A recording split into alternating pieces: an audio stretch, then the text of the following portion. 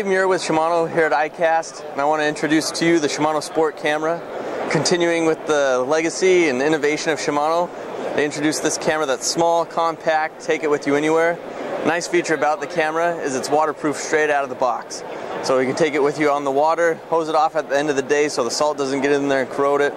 Another nice thing about it is the angle free option, which as you rotate the camera every 90 degrees, it's still going to keep a horizontal image plane. It will auto correct the image for you. Even when upside down, you'll still be seeing it right side up. So introducing to you the Shimano Sport camera.